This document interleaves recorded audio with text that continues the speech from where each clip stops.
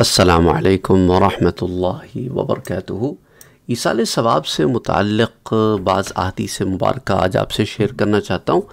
हज़रत आयशा सिद्दीक़ा रदी अल्लाह तहा बयान करती हैं कि एक शख्स ने हुजूर अलैहि वसल्लम से अर्ज़ की कि मेरी माँ अचानक फौत हो गई और मेरा गुमान है कि अगर वो बात करती तो कुछ सदका करती। बस अगर मैं उसकी तरफ़ से कुछ सदका करूँ तो क्या उसको कोई अजर मिलेगा?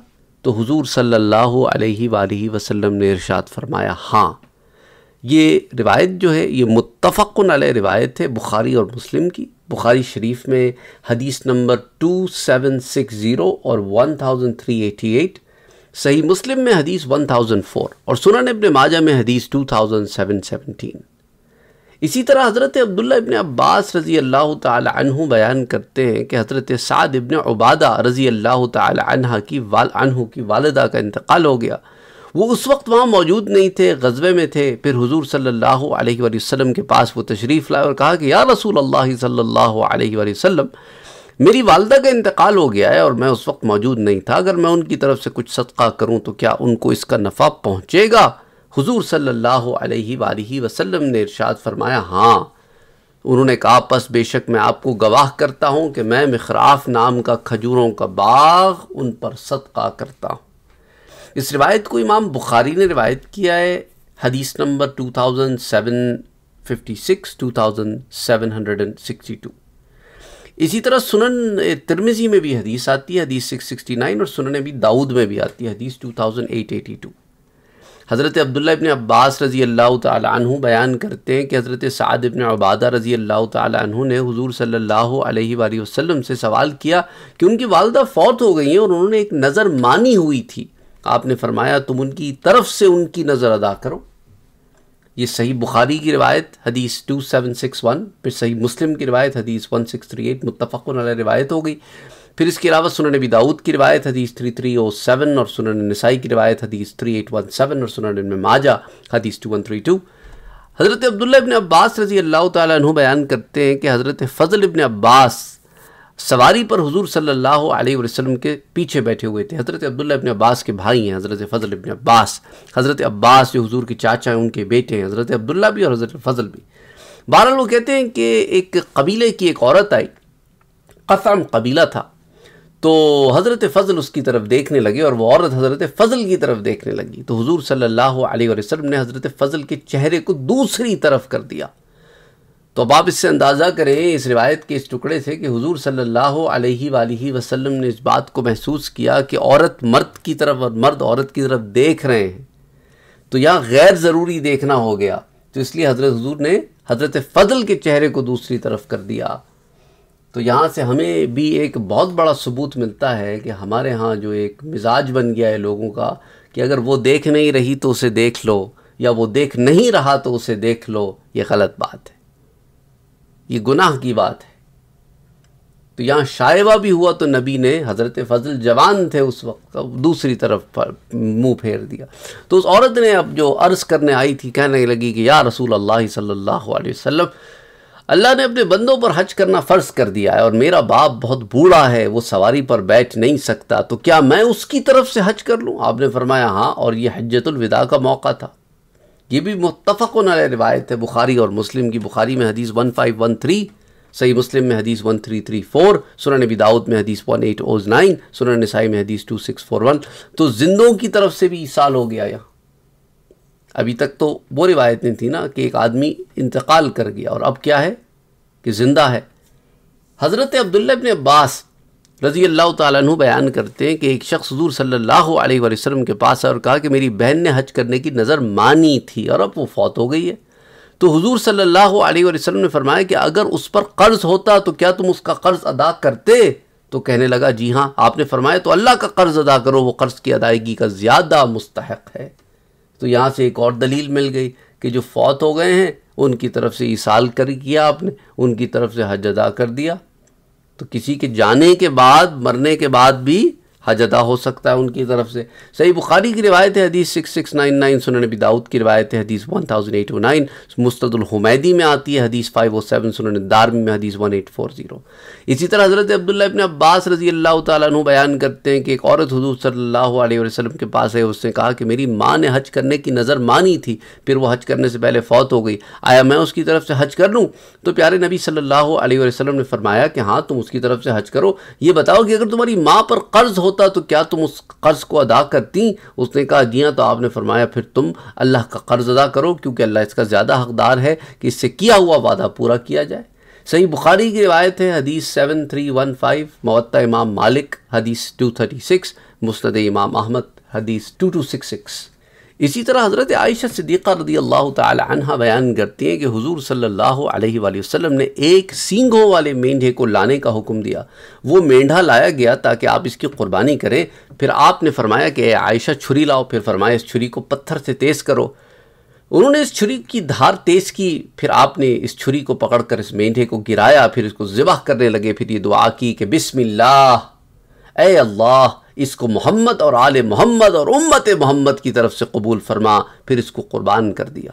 सही मुस्लिम की रिवायत है, हदीस number one nine six seven और इसी तरह सुन नबी दाऊद में भी आती है, हदीस टू सेवन नाइन टू तो अब इससे आपको ये भी पता चल गया कि ये हुजूर सल्लल्लाहु अलैहि ने अपनी आल और अपनी उम्मत दोनों की तरफ़ से ईसाल फरमाई ना ये। अच्छा इमाम अहमद ने इस हदीस को तीन मुख्तलिफ़ सनदों के साथ रिवायत किया बायदबे और सनदों के साथ साथ ये हदीस जो है, ये भी मौजूद है दर्ज सही की रिवायत है, सही मुस्लिम की। अच्छा मुस्ंद इमाम अहमद में भी हदीस आती है, जिल्द नंबर तीन में। इसी तरह इमाम हाकिम ने इसको अलमुस्तरक की जिल्द चार में रिवायत किया है। मुस्ंद अबू याला में आती है, हदीस one seven nine two Sunan Bayhaqi में आती है, हदीस टू सिक्सटी एट इसी तरह सुन दार कुतनी में ये रिवायत आती है। फिर इसी तरह जो है, और सही अपने खुजैमा में भी ये रिवायत आती है, हदीस टू एट नाइन नाइन सुनन दारमी में, के अलावा सुनन अपने माजा में भी आती है। इसी तरह इमाम तहावी ने भी इसको जिल चार सफ़ा ए वन सेवेंटी सेवन पर ज़िक्र किया। बहरहाल तो कई जगह पे तो बहरहाल कहने का मकसद यहाँ पे क्या है कि ये तमाम अदीस मुबारक जो मैंने जमा किए ईसाल सवाब से मुतक़ हैं बाद जिंदों की तरफ़ से बाद फौत होने वालों की तरफ़ से, हुजूर की अपनी उम्मत की तरफ़ से, आल की तरफ़ से तो इस तरह ये रिवायत जो है ये मौजूद है। अच्छा हज़रत अली रज़ी अल्लाह तु की हुजूर की तरफ़ से क़ुरबानी वाली जो एक हदीस है वो भी हमारे सामने आती है कि हनश बयान करते हैं कि मैंने हज़रत अली रज़ी अल्लाह तु से आ, को देखा कि वो दो मेंढों की क़ुरबानी करते थे। मैं इन मैंने इनसे पूछा कि इसकी वजह क्या है? तो उन्होंने कहा कि बेशक रसूल अल्लाह सल्लल्लाहु अलैहि वसल्लम ने मुझे वसीयत की थी कि मैं आपकी तरफ़ से क़ुरबानी करूँ। सो मैं आपकी तरफ़ से कुर्बानी करता हूँ, यानी एक तो अपनी तरफ़ से करता हूँ, एक आपकी तरफ़ से करता हूँ, इसलिए दो कुर्बानियाँ करता हूँ। और तिरमिजी की रिवायत में है कि मैं इस कुर्बानी को कभी तर्क नहीं करूँगा। और ये सुनन नबी दाऊद में भी रिवायत मौजूद है, हदीस टू सेवन नाइन ज़ीरो और सुनन तिरमिजी में हदीस one four nine five Musnad Imam Ahmad में भी आती है अलमुस्तरक इमाम हाकिम में भी आती है, सुनन बहकी में भी आती है। और अभी दाऊद और इमाम तिरमिजी और इमाम अहमद का जो सिलसिला सनद है वो शरीक अन अबिल हसना अनहकम अन हनश अन अली और इमाम अबू ईसा तिरमिजी इसकी सनत के मुतालिक लिखते हैं कि हदीस गरीब है, हम इसको सिर्फ़ शरीक की हदीस से पहचानते हैं। और बाज़ अहल इल्म ने मैत की तरफ़ से क़ुरबानी करने की इजाज़त दी है और बाज़ ने नहीं दी। अब्दुल्ला इब्न मुबारक ने कहा कि मुस्तहब यह है कि इस जानवर का मैत की तरफ़ से सदका कर दिया जाए और इसकी क़ुरबानी ना की जाए। और अगर क़ुरबानी कर दी तो क़ुरबानी करने वाला इसको खुद ना खाए। और पूरा जानवर जो है वो सदका करते। और इमाम बुखारी कहते हैं कि अली बिन मदीनी ने कहा कि इस हदीस को शरीक के अलावा भी रावियों ने रिवायत किया है। तो मैंने इनसे पूछा कि अबुल हसना का नाम क्या है? तो उन्होंने कहा कि इसको नहीं पहचाना मैंने। और इमाम मुस्लिम ने कहा कि इसका नाम हसन है। तो इमाम तिरमिज़ी ने इसकी बड़ी तफसील बयान फरमाई है। अच्छा इसी तरह इमाम मिज़ी ने अबुल हसना के मुतालिक लिखा है कि अबुल हसना कूफ़ी है, उनका नाम हसन है और एक कौल ये कि इनका नाम हुसैन है। इमाम अबी दाऊद, इमाम तिरमिज़ी, इमाम नसाई ने इनसे अदीस रिवायत की हैं और हमारे पास इनकी हदीस सनद आली से है। ये इमाम मिज़ी का कौल बता रहा हूँ मैं आपको। फिर उन्होंने इस हदीस को अपनी सनद से रिवायत किया, तहजीबुल कमाल, जल्द इक्कीस, सफ़ा वन सेवेंटी नाइन। इसी तरह इमाम हजर असकलानी ने भी इसी तरह इसे लिखा है, तहजीब तहजीब की जल्द बारह, सफ़ा सिक्सटी सिक्स पर। और जहाँ तक इमाम जहाबी का ताल्लुक़ है मीज़ारतदाल जल्द दो, सफ़ा टू थर्टी थ्री पर तो वो लिखते हैं कि अलहसन बिन अलहकम नख़ अलकूफ़ी इब्राहीम शोबी और एक जमात से रिवायत करते। हैं इबन मुआइन ने कहा, इबन मुआइन ने कि ये सिका हैं। अबू हातिम ने कहा, ये साल हदीस हैं और इबन हब्बान ने इनमें कलाम किया और कहा है कि ये बकसरत ख़ता करते थे और शदीद वामी थे। जब ये किसी रिवायत में मुनफरद हों तो मुझे वो रिवायत पसंद नहीं है। वो उनका अपना ज़ाती कौल है इबन हब्बान का। उनकी अपनी ज़ाती कौल है, इसके अंदर वो कोई दलील नहीं लाए। अच्छा अब जहाँ तक अल्लामा शुएब अल का ताल्लुक़ है और उनके शुरका उस हदीस की तहकीक में वो लिखते हैं कि इमाम हाकिम ने इस हदीस को सही कहा है और इमाम जहाबी ने इसकी मवाफ़त की है और कहा है कि इस सनत में जो अबुल हसना है वो अलहसन बिन अलहकम नक़ी हैं। इसके बावजूद उन्होंने मीज़ानतदाल के बाब आ, में इसका नाम ज़िक्र नहीं किया और कहा कि वो मरूफ नहीं और अलहसन बिन अलहकम मरूफ हैं। इससे एक जमात ने रिवायत किया और मुतद आइम्मा ने इनकी तोसीक की है और नसाई के अलावा बाकी असहाबत सुन ने इस हदीस को रिवायत किया है। तो हाशिया मुस्ंद इमाम अहमद, जल्दो सफ़ा दो सौ छः अच्छा इसी तरह इमाम हाकिम अन्निशापुरी जो हैं वो लिखते हैं कि हनश बयान करते हैं कि हज़रत अली ने दो मेंढों की कुर्बानी की, एक मेंढे को हुजूर सल्लल्लाहु अलैहि वसल्लम की तरफ़ से और एक मेंढे की अपनी तरफ़ से और कहा कि मुझे हुजूर सल्लल्लाहु अलैहि वसल्लम ने हुक्म दिया था कि मैं आपकी तरफ़ से कुर्बानी करूँ, बस मैं आपकी तरफ़ से हमेशा कुर्बानी करता रहूँगा। यह हदीस इमाम हाकिम कहते हैं सही इसनाद है और इमाम बुखारी और इमाम मुस्लिम ने इसको रिवायत नहीं किया और इसकी सनत में जो अबुल हसना है वह अलहसन बिन अलहकम नक़ी है। तो अलमुस्तरक में रिवायत आती है। अच्छा इमाम जहाबी इस ज़मीन में लिखते हैं कि हदीस दर्जा सही की रिवायत है और अबुल हसना ही हसन बिन अलहकम नक़ी हैं। तलखीस अलमुस्तरक जिल चार सफ़ा दो सौ उनतीस, दो सौ तीस। और इस हदीस पर बाज़ लोगों ने ज़ोफ़ का हुक्म इसलिए लगाया था कि इसकी सनत में अबुल हसना मजहूल रावी हैं। लेकिन जैसा कि आप जानते हैं कि वो मजहूल नहीं है, अभी मैंने आपके सामने मुतद कुतुब से यह साबित किया है। और हमने उनकी इस गलत फहमी को यहाँ ज़ायल किया है और वाज किया है कि हदीस दर्जा सही को पहुँचती। इसी तरह हज़रत साद इबन उबादा ने कहा कि या रसूल अल्लाह सल्लल्लाहु अलैहि वसल्लम, मेरी वालदा फौत हो गई हैं बस कौन सा सदका अफजल होगा? तो आपने फरमाया कि पानी का, फिर साद ने कुआँ खोदा और कहा यह साद की माँ का है। सुनने भी दाऊद की रिवायत है हदीस वन सिक्स एट वन तो अपनी माँ की तरफ़ से कुआँ सदका किया। और एक और सनद में सईद इबन मुसैब बयान करते हैं कि साद इबन उबादा हुजूर की खिदमत में हाजिर हुए और पूछा, किस चीज़ का सदका आपको सबसे ज़्यादा पसंद है? आपने फरमाया, पानी का। फिर सुना नबी दाऊद में हदीस आती है sixteen seventy nine sixteen eighty Sunan Nasai में हदीस two sorry three six six six Sunan ibn Majah में हदीस थ्री सिक्स एट फोर सही इबन खुजैमा में हदीस टू फोर नाइन सेवन सही इबन हिब्बान में हदीस three three four eight Al-Mustadrak में भी इमाम हाकिम से लाते हैं। और इमाम हाकिम निशापुरी लिखते हैं कि इस हदीस को सईद बिन अलमुसैब ने हज़रत साद इबन उबादा से रिवायत किया और ये इमाम बुखारी और इमाम मुस्लिम की शर्त के मुताबिक सही है कि इमाम बुखारी और इमाम मुस्लिम की शराइ पर उतरती है हदीस। तो यूँ दर्जा सही को पहुँचती है। और अल्लामा जहाबी ने इस पर ताकुब किया और लिखा है कि नहीं, ये गैर मुतसिल है, क्योंकि सईद इबन मुसैब का साद इबन उबादा से सिमा साबित नहीं है तो अलमुस्तरक माजेल में उन्होंने इस पर यह कलाम किया इमाम अबी दाऊद ने हदीस 1680 में इसको दोबारा रिवायत किया एक दो रिवायतें लाई 1679 1680 इमाम अबी दाऊद, दो दफ़ा, अन अल हसन अन साद इबन उबादा वो कहते हैं, ये भी मुनक़ा है।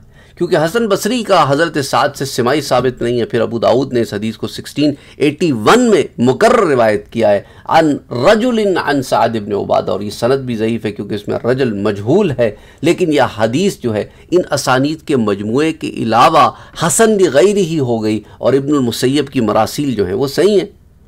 इसलिए यह हदीस लायक एहतजाज और साहिब इस्तदलाल है कि इससे हम मसला इस्तेमाल कर सकते हैं।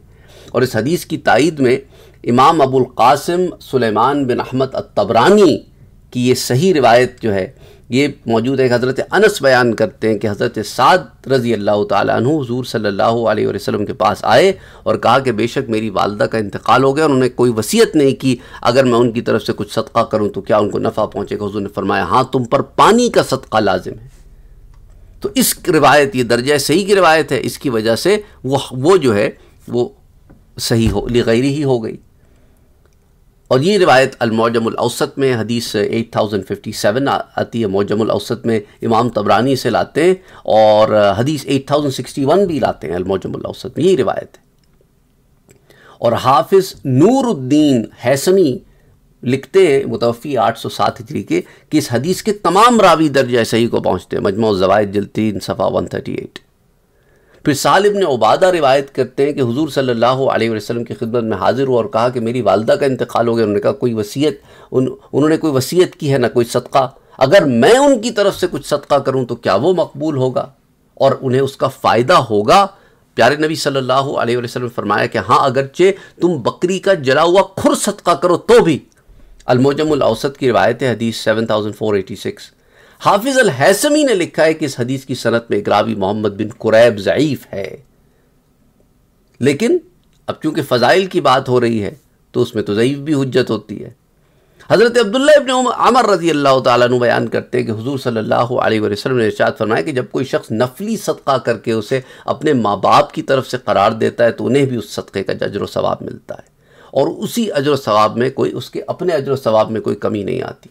और मजमा जवायद, जिल तीन, सफ़ा वन थर्टी नाइन हाफिज़ अल हैसमी ने कहा कि इसको तबरानी ने औसत में रिवायत किया और उसमें एक रावी खारजा बिन मुसाब दब्बी ज़ाइफ है। इसी तरह अमर इबन शुआब अपने दादा से, वो अपने दादा से रिवायत करते हैं कि आस बिन वाइल ने वसीयत की कि उसकी तरफ़ से सौ ग़ुलाम आज़ाद किए जाएँ तो उसके बेटे हिशाम ने अपने हिस्से के पचास ग़ुलाम आज़ाद कर दिए। फिर उसके दूसरे बेटे अमर ने इरादा किया कि बकिया पचास ग़ुलाम आज़ाद करते फिर उन्होंने सोचा कि मैं हुजूर सल्लल्लाहु अलैहि वसल्लम से पूछ लूँ। फिर वो हुजूर सल्लल्लाहु अलैहि वसल्लम के पास है और कहा कि, या रसूल अल्लाह मेरे बाप ने सौ ग़ुलाम आज़ाद करने की वसीयत की थी और हिशाम ने अपने हिस्से के पचास दे दिए और पचास ग़ुलामों को आज़ाद करना बाकी है। क्या मैं अपने बाप की तरफ़ से उनको आज़ाद कर दूँ? तो हुजूर ने फरमाया कि अगर तुम्हारा बाप मुसलमान होता, फिर तुम उसकी तरफ़ से ग़ुलाम आज़ाद करते, या तुम उसकी तरफ़ से सदका करते, या तुम उसकी तरफ़ से हज करते तो उसको इन इबादत का सवाब पहुँचता। यानी अगर मुसलमान नहीं है तो नहीं पहुँचेगा। मुसलमान है तो पहुँचेगा।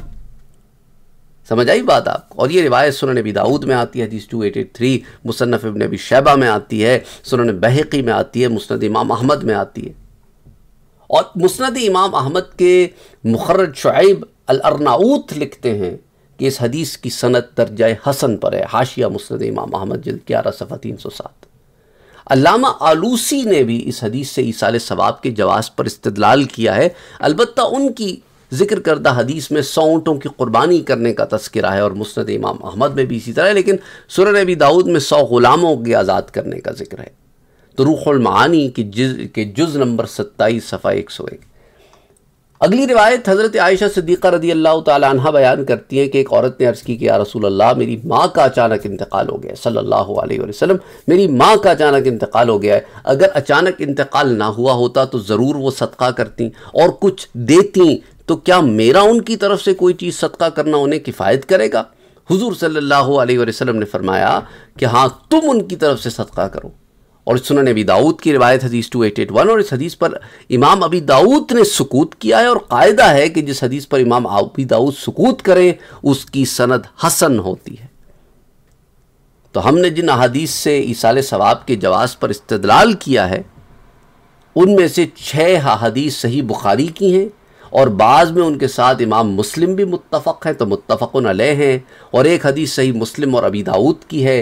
अलावा अजीम चार अहादीस सुन अबी दाऊद की हैं और ये भी सहीली गैरी और हसन हैं और तीन अहादीस इमाम तबरानी की हैं, जिनमें से दो अहादीस सनद ज़यीफ़ के साथ हैं और हदीस ज़यीफ़ सनद जो है, वो फ़ज़ाइल अमाल में मकबूल होती है। खसूस जब उसकी तइद में अहादीस सही भी हों और इमाम तबरानी की एक रिवायत तो हमने सही सनत के साथ ज़िक्र की है। तो बहरहाल मैं समझता हूँ कि इतने सारे दलाइल हैं, जिसके साथ ये बात वाज हो जानी चाहिए कि इसाल सवाब में, अहदीस मुबारक में क्या मौक़ मौजूद है। तो वो तमाम लोग जिनको जिस किसी भी किस्म का इश्काल है जहनों में, वो इससे दूर हो जाता है।